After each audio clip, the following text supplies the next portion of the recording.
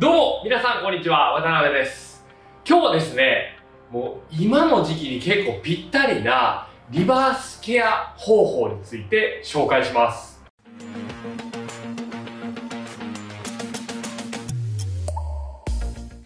はいということでえっ、ー、とまずリバースケアって何なのって話だと思うのでまあ簡単にちょっと紹介します。普通ヘアケアって、ヘアケア方法っていうのは、まあ、例えばシャンプーして、で、トリートメントつけて、で、洗い流さないトリートメントして乾かすみたいな。この流れかなと思うんですけど、リバースケアっていうのは、まずブラッシングして、で、えー、次、洗い流さないトリートメントをつけて、で、普通のトリートメントをつけて、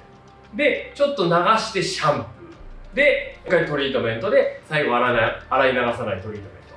ちょっと工程が長くなるんですけど、こうすることによって、まずシャンプーによる摩擦のダメージをちょっと抑えれます。で、その次に、えっ、ー、と、カラーリングの退色も少し防げます。もう一個に、えっ、ー、と、スタイリング剤が落ちやすくなります。まあ、なぜかというと、こう、油分だったりとかが、えー、油で、えー、汚れを吸着してくれて、で、落ちやすくしてくれる。っていう、えー、3つの、えー、ポイントがあるので、まあ、あとは僕個人的には結構髪の毛がちょっと潤いが出てくれるかなと思うので、あの、まあ、梅雨の時期だったりとか、ちょっと暑い時とかってね、なんかこう、湿気でボワッとなったりとかするじゃないですか。それも少し抑えてくれるかなと思いますので、結構今の時期に使えるかなと思うので、えー、いつももっと広がったりとか、パサつきで気になっている方、よかったら参考にしてみてください。それでは動画をどうぞまずブラシを使っていきますブラシでしっかりと溶かしていきます。まずは毛先の方から優しく溶かして。でこの時に引っかかりだったりとか絡まりがある時は本当に丁寧にやってください。こう無理やり引っ張ったりとかすると結構ダメージの原因にもなるので。で摩擦を軽減するために、えー、まずしっかりとブラッシングするので綺麗に全体的に溶かしてもらって。で毛先中間根元に向かって段階を踏んで溶かしていくようにしてください。でそうすることによって、まあ、髪の毛についてる汚れだったりとかホコリが取れやすくなってであとこう溶かすことによって頭皮の血行促進にもつながるのでしっかりと溶かすようにしてください。次にトリートメント。洗い流さないトリートメントですね。を使っていきます。でオイルをだいたいまあ2プッシュぐらい出してもらって毛先の方からしっかりとつけます。でなるべくこう中の部分とかもう本当に全体的に毛先がしっかりとつくようにつけてもらってで中間のあたりまで伸ばしてあげる。でこれでも足りなかったらもうワンプッシュ足したりとかまあ、ロングの方とかだったら、えー、34プッシュぐらいでいけるかなと思うんですけど大体ミディアムとかボブとかぐらいの方とかだったらもう2プッシュあれば結構いけるかなと思うので本当にしっかりとなじませて。でこの状態でちょっとまあ10分から、え、15分20分ぐらい置いてあげてもいいかなと思うので乾燥が結構気になる方は20分ぐらい置いても大丈夫かなと思うんですけどまあ大体10分ぐらい1回このまま放置します。でその後に洗い流すタイプのトリートメントですねをつけていきます。でこれも、えー、乾燥パサつきが気になるところにしっかりとつけて。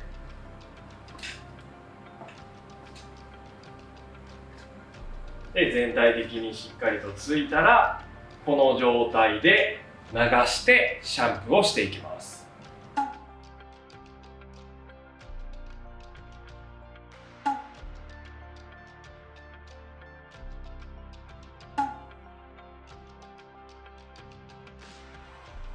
もう一度洗い流さないトリートメントを使っていきます。でここでもう一度さっきと同じぐらいのプッシュ量で洗い流さないトリートメントをしっかりとつけていきます。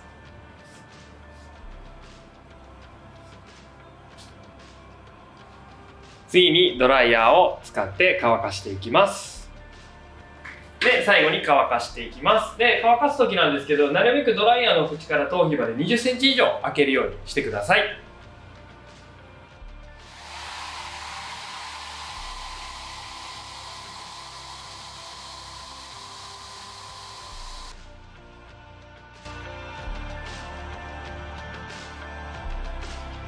はい、こんな感じで終わりました。で、まずポイントなんですけど、まあポイントというかプロセス的には、えーブラッシング、まずしっかりとする。まあそうすることによって、ホコリだったりとか汚れがしっかりと落ちて、あと血行促進。で、えっ、と、摩擦による引っかかりとかもなくなるので、絡まりがなくなるので、えー一番最初にしっかりと梳かす。で、その後にオイルをつける。えー洗い流さないトリートメントですね。なるべくアルガンオイルだったりとか、ホホバオイル、あと椿油とかでもいいかなと思うんですけど、それをちょっとしっかりとつけて、で、大体まあミディアムとかボブぐらいで大体2プッシュ。で、ちょっとそれでも、あの、収まりが悪かったらもう1 1プッシュ、えー足すような感じで。で、ロングの方やったらまあ3、4プッシュぐらいでいいかなと思うので、つけてもらって、で、そのまま、まあ10分から20分、えー結構広がりが大きいかな、広がりがひどいかなっていう方は20分ぐらい置いといてもらって、まあ普通にちょっと収まればいいかな、ツヤが出ればいいかなっていう方は10分ぐらいでいいかなと思います。で、つけてもらって、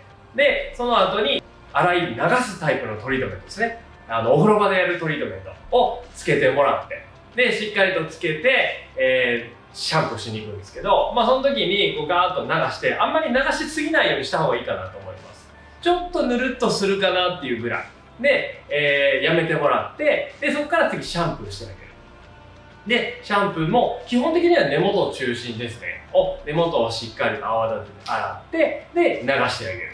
で、その後にもう一度トリートメント。で、ここで、まあ、髪の毛ちょっと触ってもらって、例えばちょっとベタつきとかで、なんかきしみみたいな、カカッと引っかかるなっていう方がいたら、あの、トリートメントちょっと少なめにしたりとか。で、ダメージによるきしみ、こうちょっと引っかかりとかってあるんだったら結構しっかりめにやって。で、普通にぬるっとする、あの、する、滑るっていうぐらいだったら、普通につけてもらったらいいかなと思うので、本当にその流した時の髪の毛の質感に合わせて、トリートメントの量を選んでください。で、もう一回それで流して、で、最後、えータオルドライをしてから、えーもう一度、えー洗い流さないトリートメント。まあ、さっき言った3種類のトリートメントでいいです。を、えー使ってもらって、で、同じ分量でもいいんですけど、まあ、その時もさっきと一緒で髪の毛の質感に合わせて量を調節してあげるといいかなと思うので、まあ、大体1プッシュ、2プッシュぐらいでいいかなと思います。をつけてもらって、で、それも丁寧にしっかりとつけてもらって、最後にドライヤー。で、ドライヤーでバーって乾かしてあげる。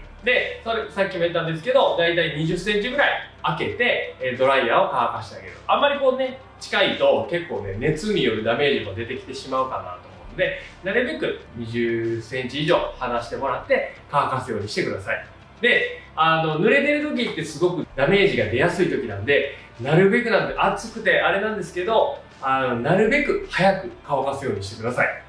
で、しっかりと乾かして溶かしてあげると結構綺麗になるかなと思います。で、一回じゃ正直、あの、なんですか、バッと広がる方もそんなに収まらないかもしれないです。でも、何回かこう繰り返すことによって、まあやっぱりそのオイルだったりとかトリートメントがちょっと、ちょっとずつなんですけど蓄積されたりとかして、収まりが良くなってくるかなと思いますので、あの、何度か繰り返してもらって、えー、まあ、週に、基本的には1、2回ぐらいでいいかなと思うんですけど、結構本当に乾燥、パサつきがひどい方は、えー、まあ最初、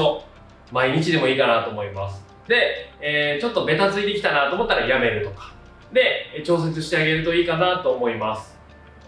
で、ただデメリットとしては結構そのトリートメントを何回もつけることになるので、えっ、と、コストがちょっとかかっちゃいます。なんですけど、まあ、こう、今の時期、湿気による広がりだったりとか、あとはまあ、冬とかだったら乾燥で広がったりもされる方も多いかなと思うんですけど、まあ、そういう時でも結構このやり方ってだいぶ髪の毛にこう潤いを与えて収まりも出る方法かなと思いますので、まあ、一つの方法として皆さん覚えておいてもらって、えー結構使える方法かなと思いますので、えーいつも広がったりとか、パサついたりとかする方、よかったらこの方法で試してみてください。また、コメントだったりとかリクエストもお待ちしております。この動画が良かったら高評価ボタンと、あとチャンネル登録もよろしくお願いします。また次回の動画で会いましょ